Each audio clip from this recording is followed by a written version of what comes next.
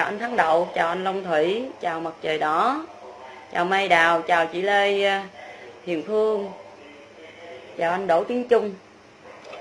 Thì à, ở thành phố mình nó đã qua 4 tháng rồi nhưng mà bây giờ bùng phát dịch hiện nay giờ rất là trầm trọng là rất là nặng cho nên là quân đội của đi vào thành phố để mà giúp cho người dân. Thì cái bọn phản động em chào anh Nhàn cái bọn phản động thì anh chị thấy rồi mấy tháng qua tại sao mà thành phố Hồ Chí Minh của chúng ta hả, không dập dịch được? Anh chị thấy biết cái giờ đầu tiên á, anh chị thấy một năm về trước chúng ta, đất nước chúng ta, chính phủ chúng ta dập dịch rất là an toàn không anh chị? Rất là ok không anh chị? Quá hoàn hảo không anh chị? Hoàn hảo quá. Sau khi mà cái cái vụ mà mà hoàn hảo qua một năm đó rồi, anh chị biết là bùng dịch lên đó cũng cái lỗi là do cái hội truyền giáo phục hưng á anh chị cái họ cái hội mà truyền giáo phục hưng này là nó tự xưng nó tự đặt tên nó là hội truyền giáo phục hưng là anh chị thấy là nó đặt cái tên. Nó đặt cái tên không á là anh chị đã nghe nó biết nó là là là là nó muốn phục quốc nó phản quốc rồi mình nó nó nó nó phản động rồi anh chị. Cái hội truyền giáo phục hưng chị mấy tháng gì trước là 250k đó anh chị. Đó. Anh chị biết không là là là, là thành phố mình nó nó bùng phát ra là cũng cái hội truyền giáo phục hưng này.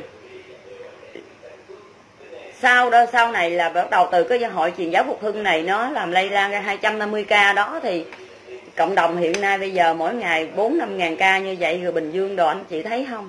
Rồi một số người á, một số người dân mình á, với một số người dân mình á, thiếu ý thức, thiếu hiểu biết. Rồi nghe lời cái bọn phản động nó kích động nó kích động là nó nó, nó đói nó khổ nó thiếu tiền tùm lum nó la nó hét rồi đó, nó nó trong công ty nó tung gào rồi một số bà con mình á người dân Việt Nam mình á thì thấy đông thì hay bu. Rồi bắt đầu là thấy đông bu vô thì bắt đầu mới dính dính dính liền cờ với nhau đó anh chị với hai nữa. Tối ngày đi lên mạng xã hội á chính phủ mình vì à, chính phủ mình đất nước mình lo cho dân thì không bao giờ nghe. Mà những cái gì thông tin của chính phủ đưa ra thì không thèm nghe mà đi nghe thông tin của cái bọn phản động. Hiện nay giờ anh chị biết á cái bọn phản động bây giờ anh chị lên mạng á anh chị biết cái bọn phản động hiện nay bây giờ á nó nó cắt ghép clip đủ cách đủ kiểu anh chị mà không tỉnh táo thì á, là là anh chị dính vô trưởng cái bọn của bọn phản động. Nhằm khi người nói là có một số nha một số người mà gọi là hả lên đây yêu nước yêu non hả còn chia sẻ cái bài của bọn phản động. Đó. Rồi hiện nay giờ anh chị thấy ngày ngày 23 ngày 23 tháng 8 giờ là ngày hôm qua đó anh chị thấy đi rồi anh chị thấy rồi à, ờ, quân đội của chúng ta vô giúp cho người dân chúng ta. Quân đội và dân lúc nào cũng phải sát cánh với nhau anh chị tới đến cuối cùng là quân đội phải vào vào cuộc. Anh chị nghĩ đi cái bọn phản động rồi nó xuyên tạc như thế nào anh chị biết rồi đó. Nó xuyên tạc nó nói là à, quân đội và vào rồi hả à, cái gì? Quân đội vào hả ăn hiếp dân lành rồi chặn không cho dân đi. Anh chị nghĩ đi quân đội vào anh chị biết nghĩ sao không? Một số người dân thiếu ý thức thì nói quân đội ta vào hả chặn rồi nghiêm khắc không cho người dân đi. Sai lầm hoàn toàn. Hiện nay giờ là, là chỉ thị 16 hiện nay giờ quân đội vào cuộc là nghiêm phải nghiêm khắc là nhà phải cách nhà tổ phải cách tổ ấp cách ấp anh chị biết nhà, cách nhà là sao không? Giả sử đi, anh nhưng nói giả sử đi, nhà đó, giả sử đi có một hộ gia đình, có năm nhân khẩu nha. Một hộ gia đình mà có năm nhân khẩu, trong đó là có một f 0 anh chị nghĩ đi, có một f 0 nha. Có một f 0 thì sao? Binh bộ đội mình là đã đã tới nhà, đến nhà luôn, tặng nhà quân đội mình vào là sao? Có đem bác sĩ quân y vào nữa khi mà đã đến từng nhà, đến từng nhà như vậy, đó. Rồi xong anh chị nghĩ đi. Rồi quân đội mình đi đến gõ cửa từng nhà, kiểm tra từng nhà. Nhà một hộ nào có khoảng là một hộ mà gia đình mà à, năm người. Mình giả sử là năm người đi nha, trong hai hai gia đình đó hai vợ chồng hai vợ chồng với ba đứa con là gọi là năm người đi, hoặc hai vợ chồng, ba đứa con, rồi cha mẹ già nữa là bảy người đi. Nhưng giả sử là như vậy đi anh chị. Thì quân đội ta bây giờ là các chiến sĩ, bộ đội đi đến nhà, thấy bây giờ nhà đó một có f không? Thì các bộ đội chiến sĩ ta sao? Là khám chữa bệnh tại nhà cho người dân, là sao cách ly tại nhà luôn, bác sĩ quân y chúng ta là ở tại nhà trị bệnh luôn. Có phải an toàn không? Còn khi đồ ăn đồ ăn hay là um, uh, nhu yếu phẩm, thực phẩm thì bên quân đội ta cung cấp luôn. Như vậy là trong vòng, anh chị nghĩ đi, trong vòng một tuần lễ thôi. Nhưng dám bảo đảm, anh chị, quân đội chúng ta, quân đội đất nước của việt nam của chúng ta, cùng da, cùng cờ dai sát cánh với người dân chúng ta. Nhưng bảo đảm với anh chị, trong vòng 10 ngày thôi là dập dịch được hoàn toàn. Bảo đảm chắc với anh chị một câu một câu một trăm phần trăm như vậy. Anh chị nghĩ đi, khi mà quân đội vào quân đội vào nè rất là là cả mà mà mà mà chỉ thị 16 nè.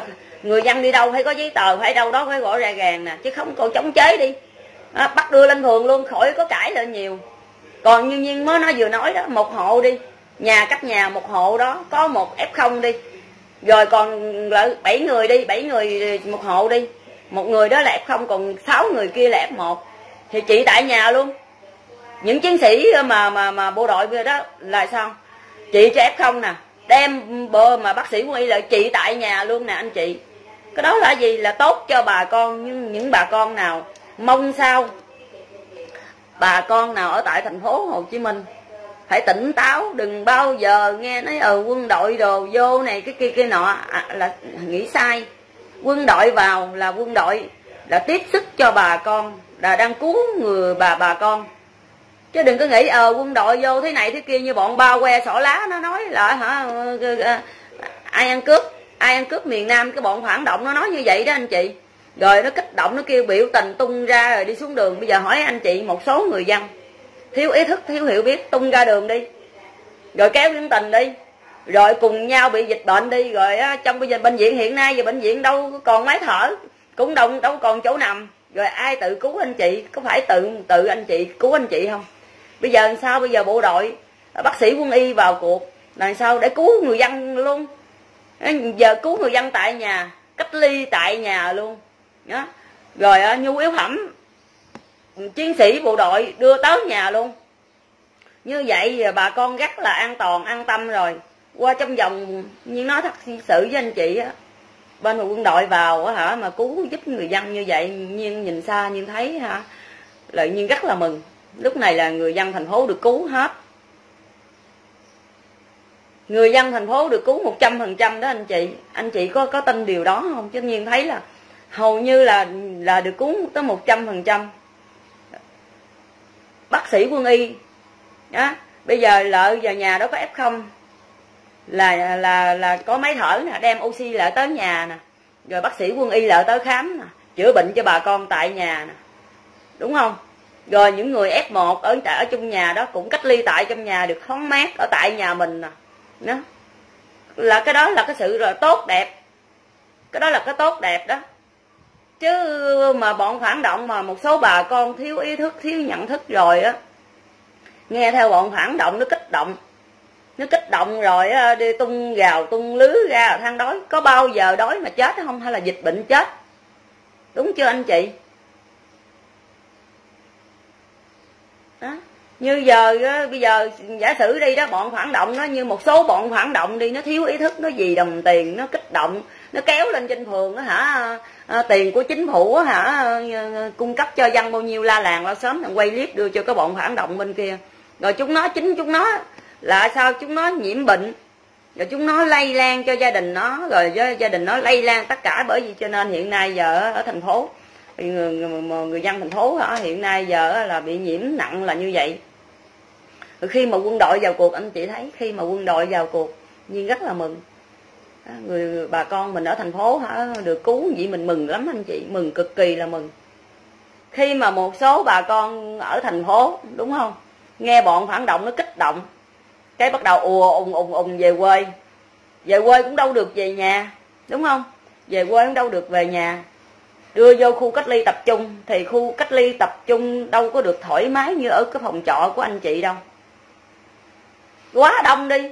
Đông quá thì phải quá tải đi. Thì anh chị phải chịu thôi. Tại anh chị, tự anh chị tung ra gào ra ngoài. Anh chị nghe lời bọn phản động, kích động anh chị ra ngoài. Rồi anh chị về quê thì phải đi vô cách ly tập trung. Ai cho anh chị đi về quê?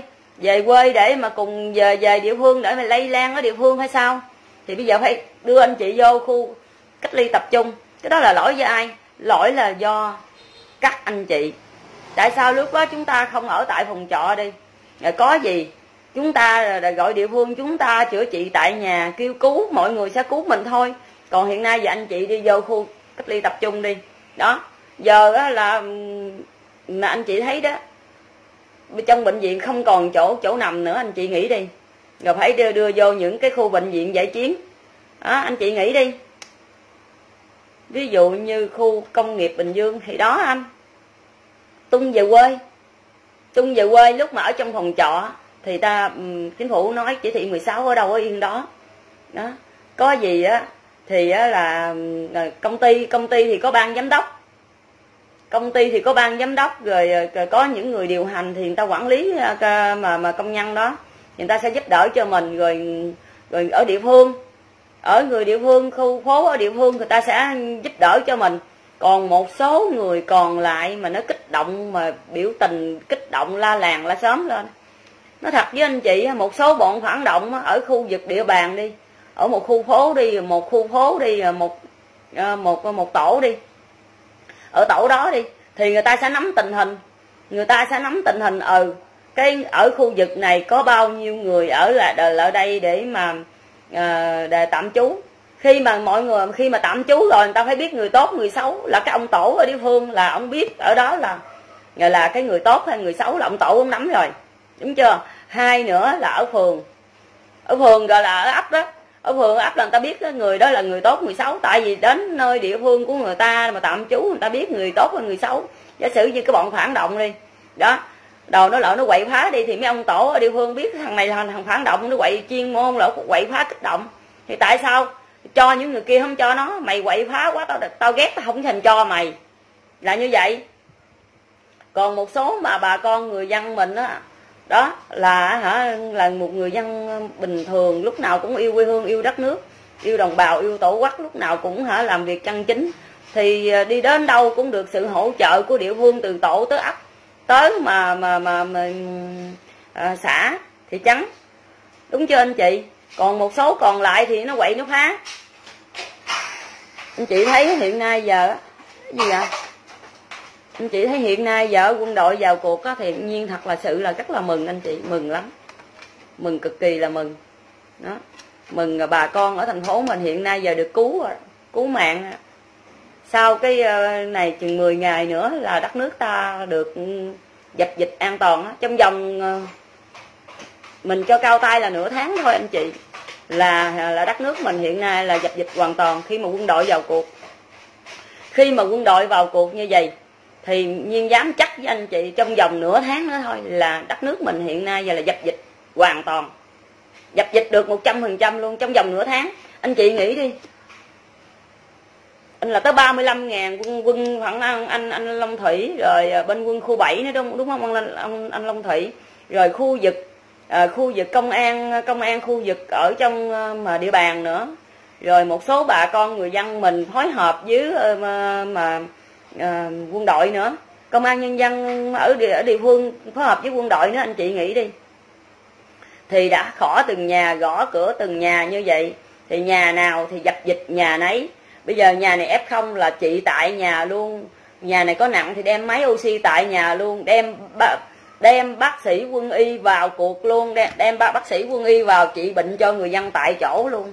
Như vậy thì nhiên bảo đảm với anh chị trong vòng nửa tháng là đất nước mình hết dịch. Bảo đảm với anh chị một trăm phần trăm luôn đó. Hiện nay giờ hiện nay giờ chính phủ đang làm đó. Chính phủ hiện nay giờ đang làm đó. Quân đội vào. Đó. Đồ ăn thức uống thì quân đội cung cấp luôn. Đó. Cung cấp hết luôn. Như vậy anh chị hỏi anh chị á, hiện nay giờ ra một cái đánh một trận dịch này á, rất là mạnh rất là lớn như vậy thì anh chị nghĩ đi nửa tháng nữa là chúng ta rất là khỏe đất nước ta nhẹ nhàng. Không còn ai đã mà để mà chết vì dịch nữa. Nhưng rất là đau lòng khi mà mở màn hình lên thấy một số ca tử vong và nhiên rất là buồn. Nhưng mà hiện nay có quân đội vào cuộc vậy nhiên rất là mừng mừng chưa từng có anh chị mừng dữ lắm luôn. Anh chị em nào mà ở thành phố mà nghe được á, thì cứ an tâm. Quân đội vào cuộc rồi thì không bao giờ cụ vụ mà chết đói. Quân đội vào cuộc rồi không bao giờ vụ mà anh chị có chết đói nha. Bà con cô bác anh chị ở thành phố mà chết đói không bao giờ có chuyện đó. Tại vì khi mà quân đội vào cuộc rồi anh chị nghĩ đi. Đó. Cung cấp à, thực phẩm tới cho bà con nè. Tận tay cho bà con nè. Đến nhà luôn nè đó chị f không mà chị f1 tại nhà luôn. Rồi đồ ăn, thức uống. Đồ ăn, thức uống. Các chiến sĩ, bộ đội công an của chúng ta cung cấp cho bà con tại nhà luôn thì bà con khỏi đi. Bà con an toàn. Đó bệnh được hả? Chị bệnh tại nhà luôn, khỏi đi vô bệnh viện cách ly. Được ở nhà thoải mái, được người nhà chăm sóc. Như vậy thì quá an toàn rồi anh chị, an toàn cực kỳ đó, cho nên một số người dân mà còn thiếu hiểu biết, nói ờ quân đội vô thế này thế kia. Quân đội vào là cứu dân đấy. Thấy bình dương hiện nay giờ, một số ờ, bọn phản động hiện nay giờ nó nó thất vọng. Bọn phản động hiện nay bây giờ bọn phản động lưu vong với một số bọn phản động trong nước nó rất là thất vọng. Nó thất vọng gì là quân đội chúng ta? Chính phủ chúng ta đưa quân đội vào cuộc bọn phản động hiện nay giờ nó rất là thất vọng tràn trời. Anh chị có tin không? Nó thất vọng cực kỳ thất vọng. Tại vì nó quậy bốn tháng qua. Bọn phản động nó quậy bốn tháng qua. Nó kích động để cho người, một số người dân thiếu hiểu biết. Nó đi ra ngoài rồi tung ra gào tung lưới ra về quê. Bây giờ chính phủ ta bây giờ tung một đòn ừ, cuối cùng ra đánh một trận dịch cuối cùng này ra là tung quân đội ra đưa quân đội vào cuộc thì cái bọn phản động lưu vong và một số bọn phản động trong nước rất là thất vọng. Nó rất là thất vọng anh chị. Nó thất vọng mà hầu như nó bị sụp đổ. Nó, nó sụp đổ hoàn toàn hết anh chị. Anh chị thấy không? Ừ. Chính phủ ta chơi một đòn chí mạng cuối cùng là đưa thẳng quân đội vào cuộc. Đưa thẳng quân đội gì vào cuộc thì bọn phản động lưu vong nó thất vọng. Tại sao anh chị? Thì một đòn cuối cùng là đánh một trận này là là quá mạnh mẽ, là đưa quân đội vào cuộc là sao những chiến sĩ bộ đội đó, những chiến sĩ bộ đội, chiến sĩ công an, cảnh sát giao thông phối hợp cùng với nhau nhịp nhàng và những người những cán bộ ở địa phương cùng phối hợp với nhau chặt chẽ. Là sao?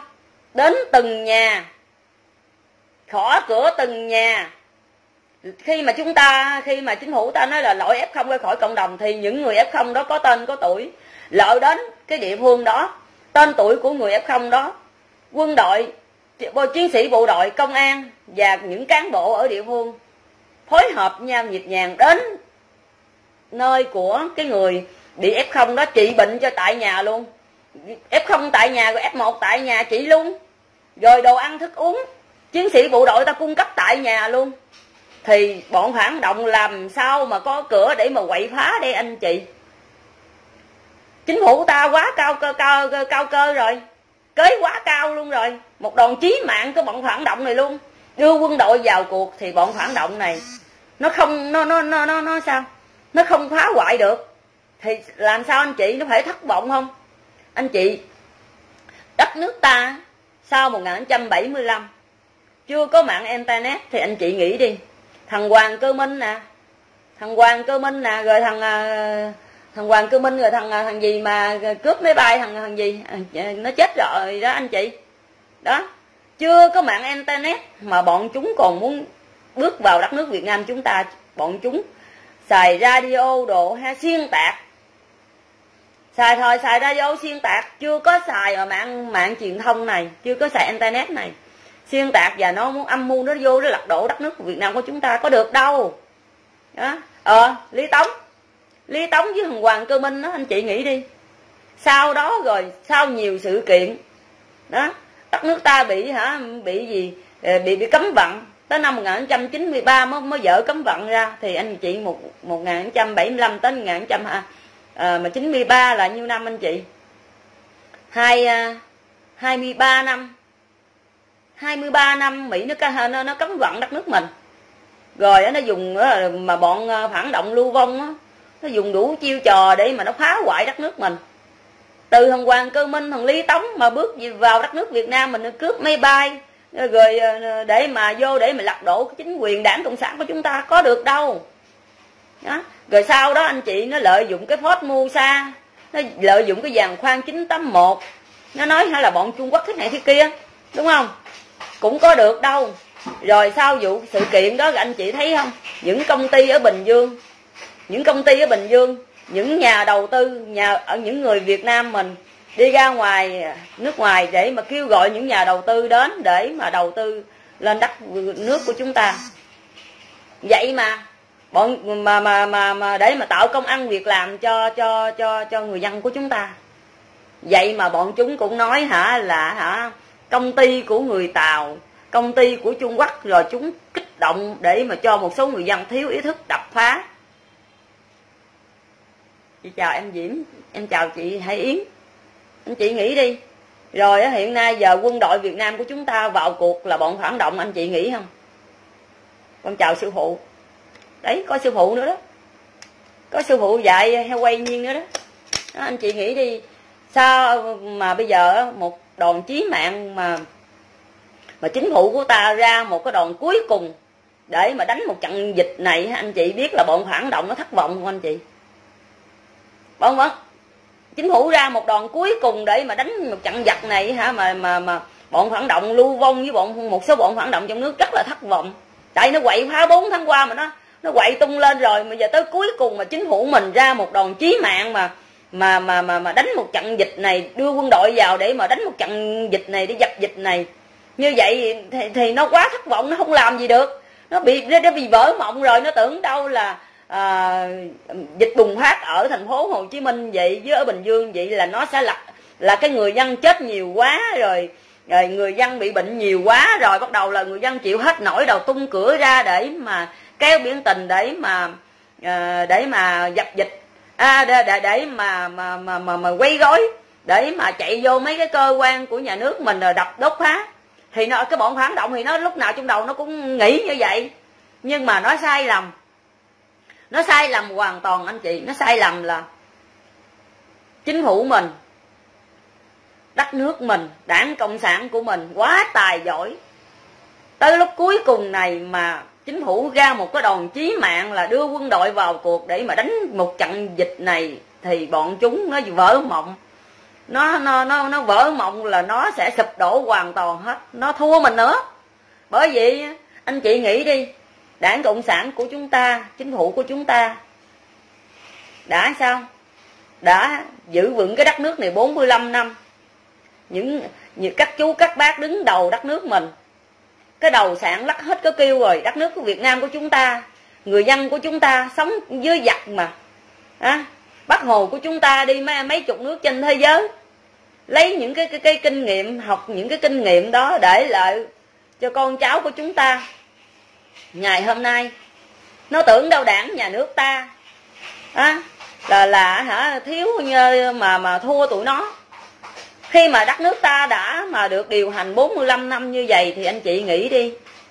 Đất nước là có phải đảng nhà nước ta rất là tài ba không anh chị? Chính phủ mình đi một đòn cuối cùng là đưa đưa mà đưa mà quân đội vào cuộc thì bọn phản động này nó thất vọng, nó dở mộng. Anh chị, nó dở mộng. Anh chị biết không? Anh chị, nó không ngờ chính phủ mình chơi tới cái màn là à, chính phủ mình chơi cái màn là đưa quân đội vào vào cuộc. Anh chị nó đâu có ngờ là là chính phủ mình là đưa quân đội vào cuộc để đánh đánh đánh một trận ờ, mà dập dịch này đâu anh chị. Đánh đa đa mà mà mà mà, mà quánh qua mình mình ngăn chặn dịch này mình đánh mà ba cái dịch này thì cũng như mình đang đánh giặc chị đó anh chị. Hiện nay giờ quân đội vào. Đó đi khỏi cửa từng nhà gà từng đối tượng. Đó quân đội chúng ta vào cuộc phối hợp với công an phối hợp với ngành chức năng địa phương. Đó khỏ cửa từng nhà gà từng đối tượng f0 khi mà một nhà đó đối tượng f0 thì những cái người còn lại trong gia đình đó là f1 chị luôn.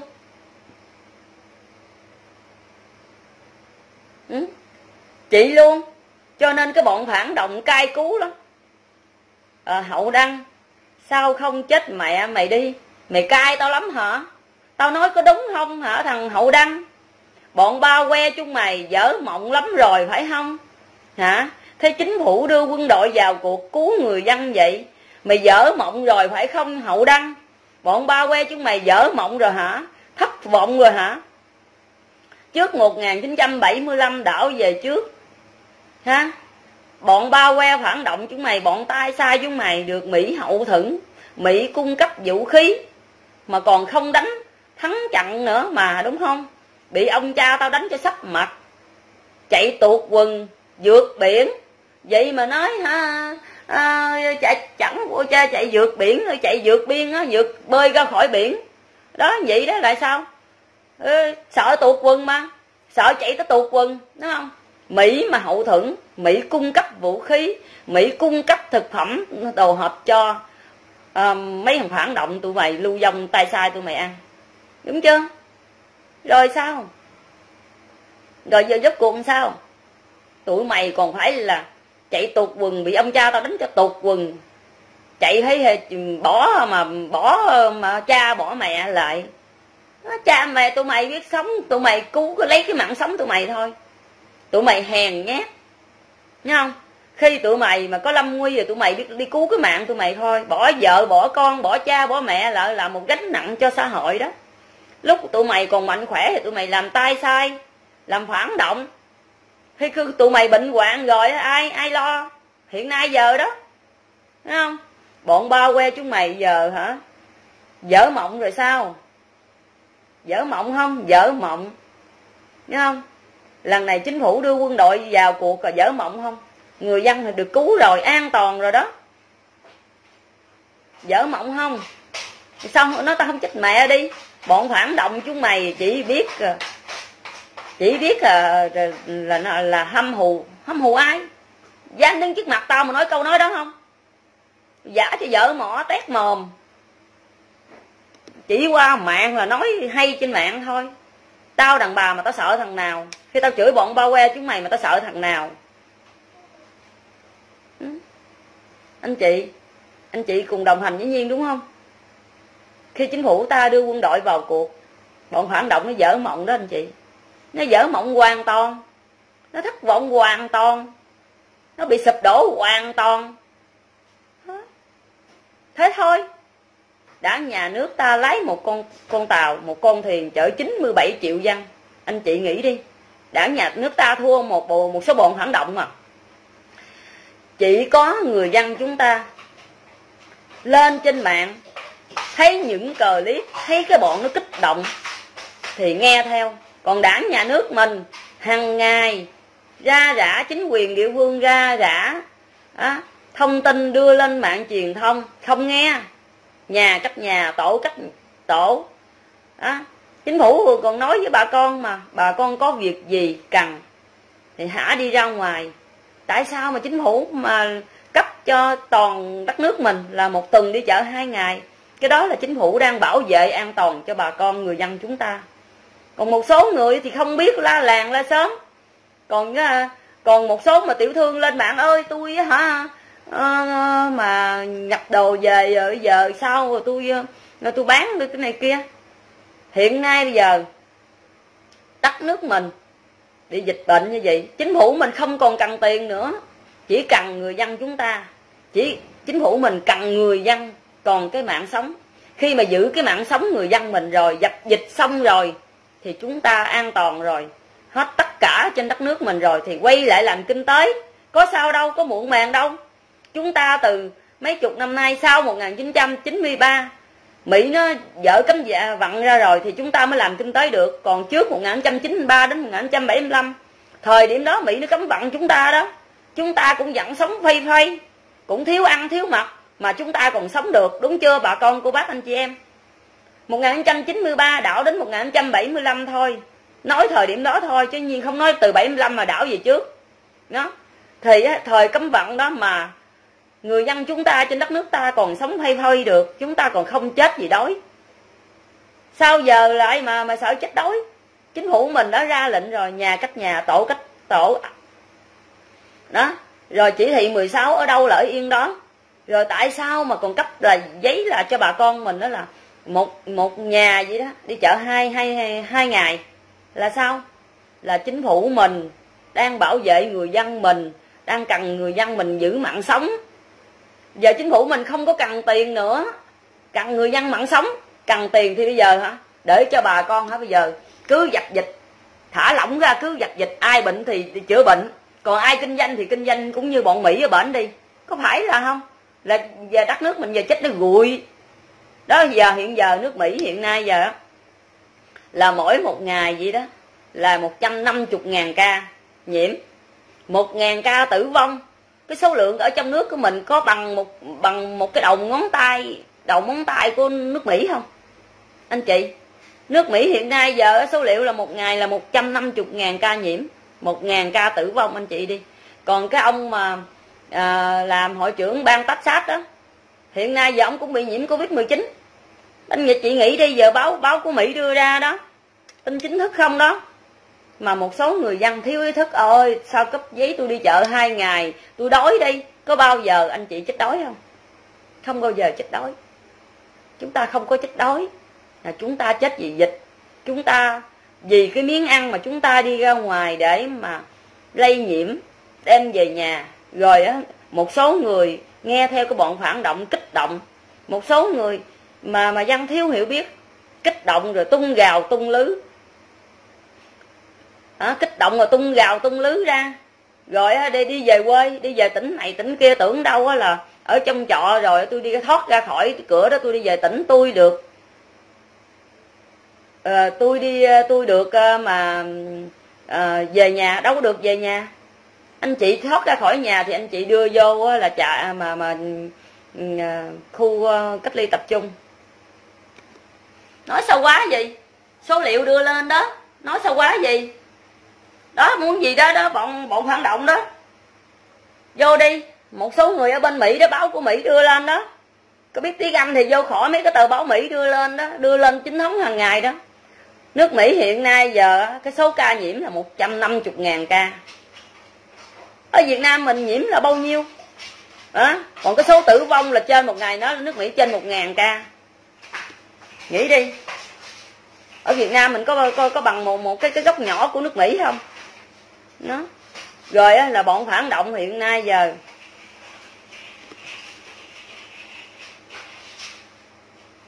À, rồi bọn phản động hiện nay giờ là gì?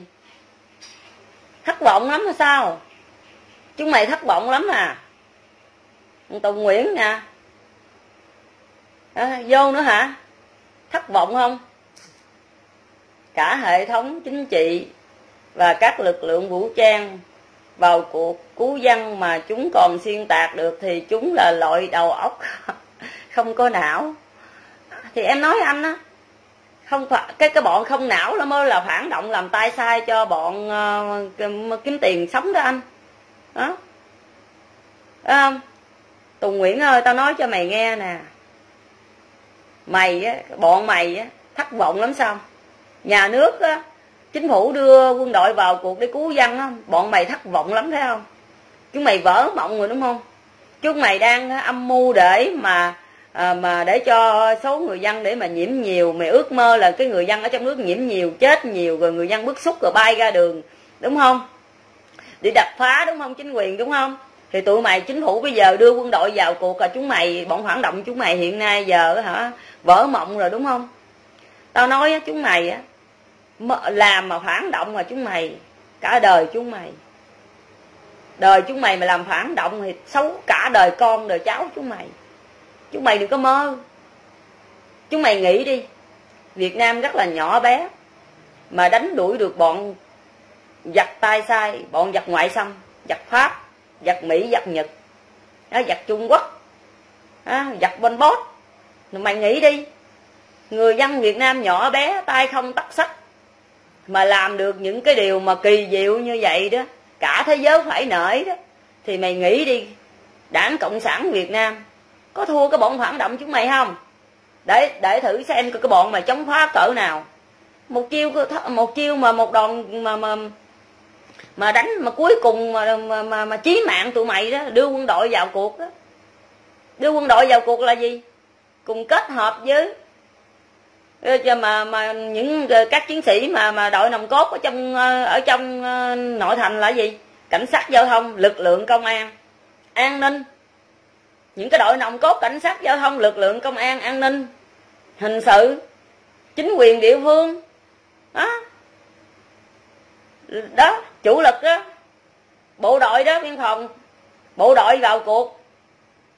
Nghĩ đi bộ đội vào cuộc thì cùng cùng mà cùng kết hợp với những những, những cái à, nhờ những à, mà mà mà các chiến sĩ nòng cốt nhất. Cảnh sát giao thông công an lực lượng công an an ninh trinh sát rồi chính quyền địa phương phối hợp nhau rất là nhịp nhàng. Đi khỏ cửa từng nhà đi gà sóc đi gà từng một đối tượng à, bác sĩ quân y vào cuộc luôn. Chị tại nhà máy thở đem tại nhà máy oxy đem tại nhà.